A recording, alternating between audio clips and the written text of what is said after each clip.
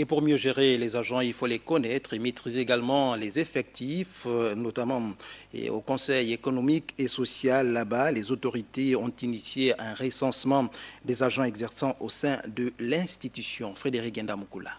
Le recensement est personnel. Chacun amène son justificatif. C'est pour un fonctionnement optimal de l'institution et dans l'optique de lutter contre le phénomène d'absentéisme chronique qui gangrène les administrations que la présidente du Conseil économique et social, Georgette Coco, a procédé à ce recensement. J'ai une vision de redynamiser la maison Conseil économique et social avec euh, une restructuration de l'institution c'est-à-dire une vision dans le renforcement des capacités.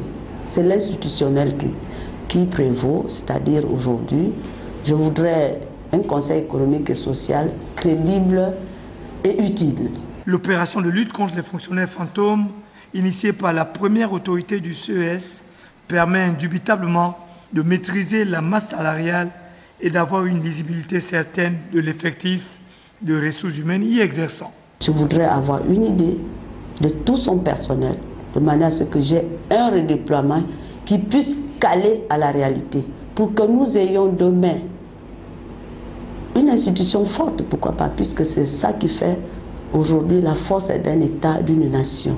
Et nous avons cette mission, donc je voudrais avoir la comptabilité de ce personnel, comment le reployer demain pour que le travail qui doit être fait doit être fait euh, d'une manière responsable. Au moment où la crise économique frappe le plein fouet le Gabon, ce recensement interne cadre parfaitement avec les réformes engagées par les hautes autorités du pays en matière d'assainissement des finances publiques.